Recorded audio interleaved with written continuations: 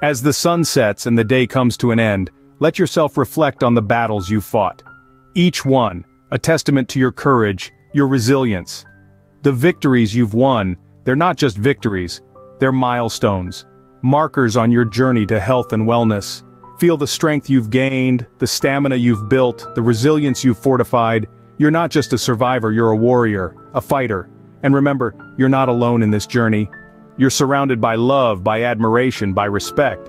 Those around you, they see your courage, they see your determination, they see your strength. Your journey, your story, it inspires, it motivates, it encourages. As the moon rises and the stars begin to twinkle, let the calmness of the night wash over you, bathing you in tranquility, in peace.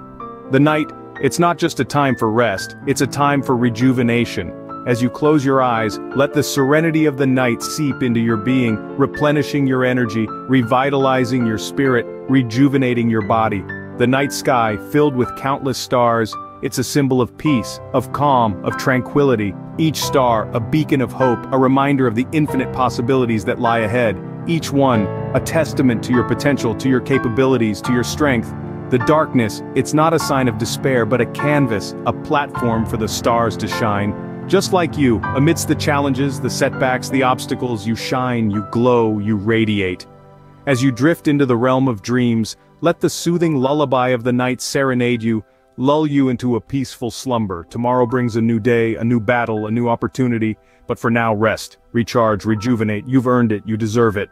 Good night warrior, rest well, tomorrow awaits.